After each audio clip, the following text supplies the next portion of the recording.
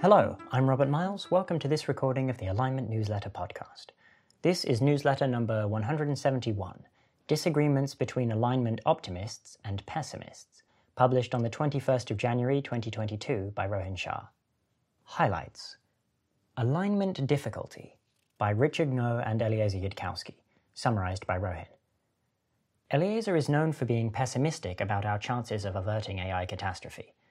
His argument in this dialogue is roughly as follows 1. We're very likely going to keep improving AI capabilities until we reach AGI, at which point either the world is destroyed or we use the AI system to take some pivotal act before some careless actor destroys the world. 2. In either case, the AI system must be producing high impact world rewriting plans. Such plans are consequentialist, in that the simplest way to get them, and thus the one we will first build, is if you're forecasting what might happen, thinking about the expected consequences, considering possible obstacles, searching for routes around the obstacles, etc. If you don't do this sort of reasoning, your plan goes off the rails very quickly. It's highly unlikely to lead to high impact. In particular, long lists of shallow heuristics, as with current deep learning systems, are unlikely to be enough to produce high impact plans. 3. We're producing AI systems by selecting for systems that can do impressive stuff, which will eventually produce AI systems that can accomplish high impact plans using a general underlying consequentialist style reasoning process, because that's the only way to keep doing more impressive stuff. However, this selection process does not constrain the goals towards which those plans are aimed.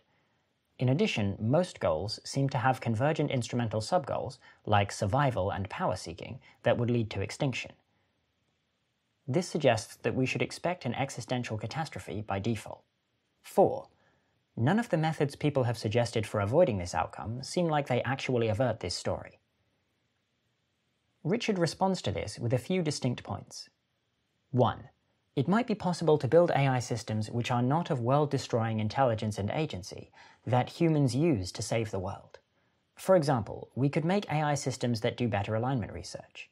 Such AI systems do not seem to require the property of making long term plans in the real world, in point 3 above, and so could plausibly be safe.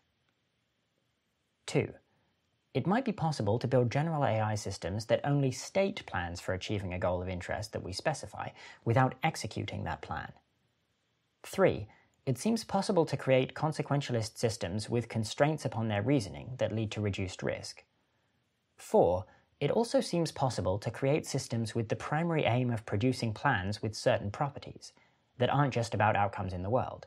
Think, for example, of corrigibility from newsletter 35, or deference to a human user. 5.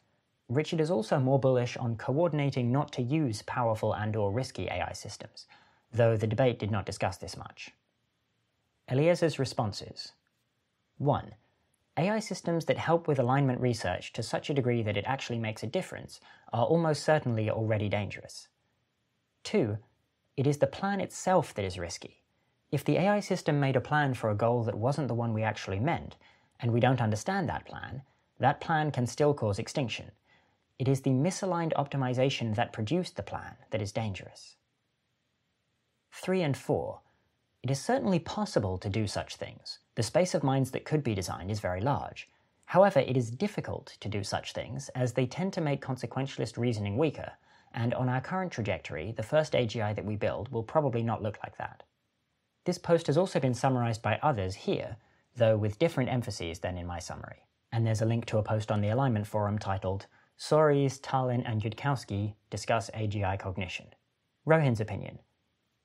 I first want to note my violent agreement with the notion that a major scary thing is consequentialist reasoning, and that high impact plans require such reasoning, and that we will end up building AI systems that produce high impact plans.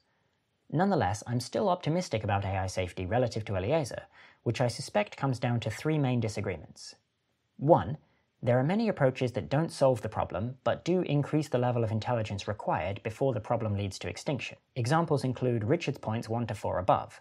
For example, if we build a system that states plans without executing them, then for the plans to cause extinction, they need to be complicated enough that the humans executing those plans don't realize that they're leading to an outcome that was not what they wanted. It seems non trivially probable to me that such approaches are sufficient to prevent extinction up to the level of AI intelligence needed before we can execute a pivotal act. 2. The consequentialist reasoning is only scary to the extent that it is aimed at a bad goal. It seems non trivially probable to me that it will be aimed at a goal sufficiently good to not lead to existential catastrophe without putting in much alignment effort. And 3. I do expect some coordination to not do the most risky things. I wish the debate had focused more on the claim that non scary AI can't, for example, do better alignment research, as it seems like a major crux. For example, I think that sort of intuition drives my disagreement with number one. I expect AI progress looks a lot like the heuristics get less and less shallow in a gradual slash smooth slash continuous manner, which eventually leads to the sorts of plans Eliezer calls consequentialist. Whereas I think Eliezer expects a sharper qualitative change between lots of heuristics and that which implements consequentialist planning. Link Discussion of Takeoff Speeds by Eliezer Yudkowsky and Paul Christiano, summarized by Rohin. This post focuses on the question of whether we should expect AI progress to look discontinuous or not. It seemed to me that the two participants were mostly talking past each other, and so I'll summarize their views separately and not discuss the parts where they were attempting to address each other's views. Some ideas behind the discontinuous view. 1. When things are made up of a bunch of parts, you only get impact once all the parts are working.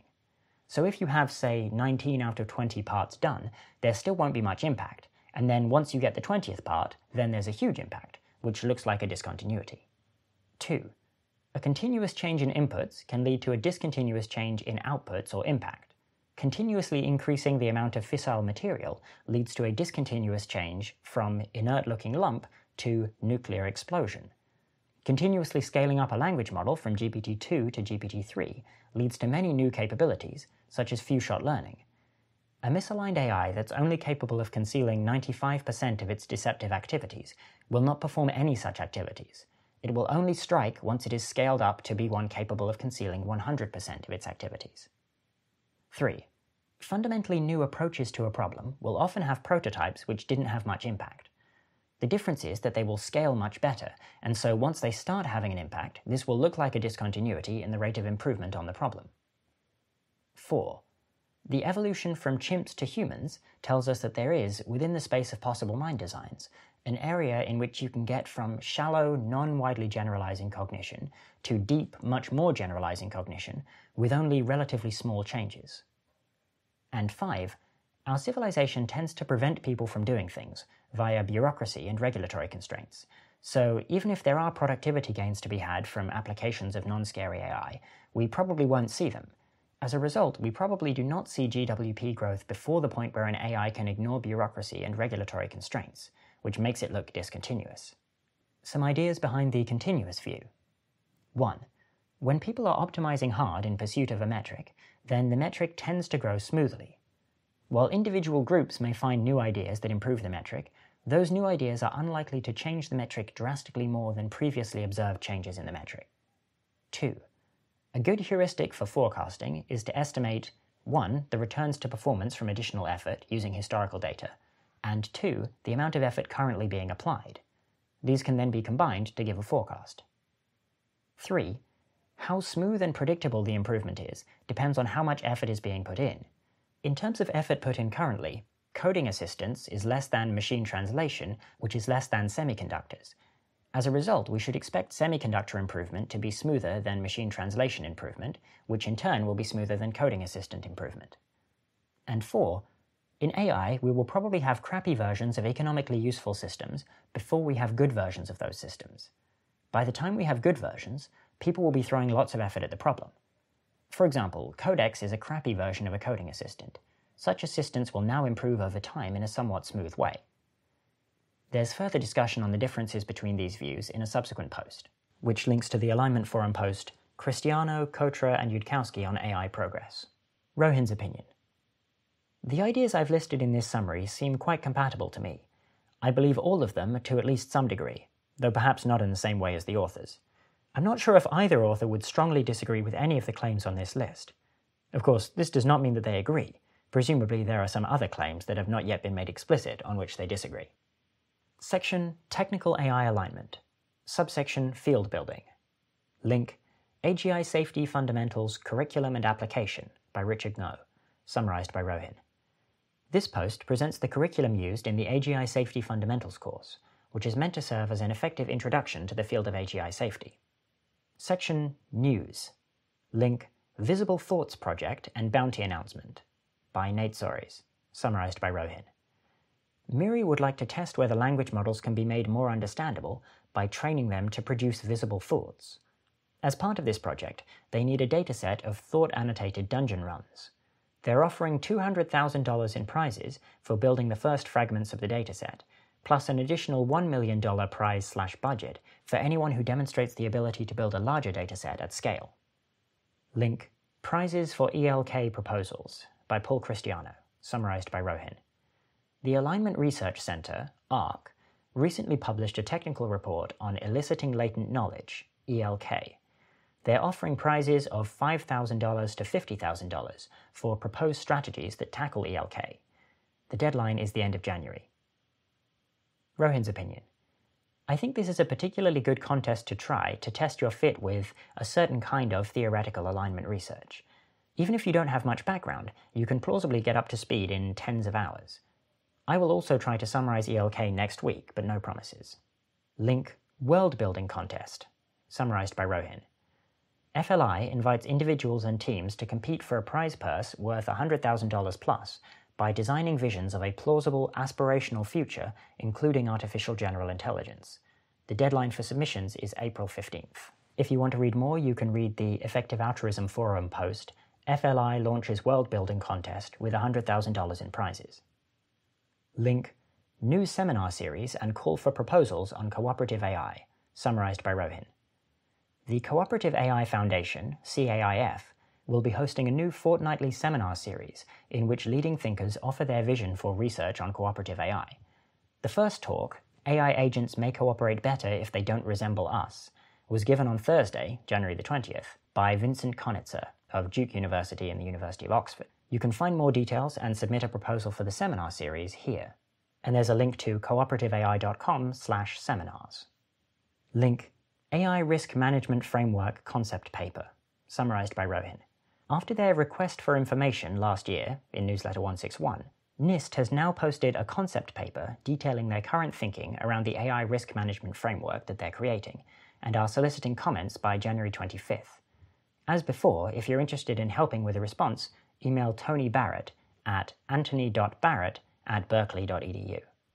Link Announcing the PIBBSS Summer Research Fellowship by Nora Ammann, summarized by Rohin.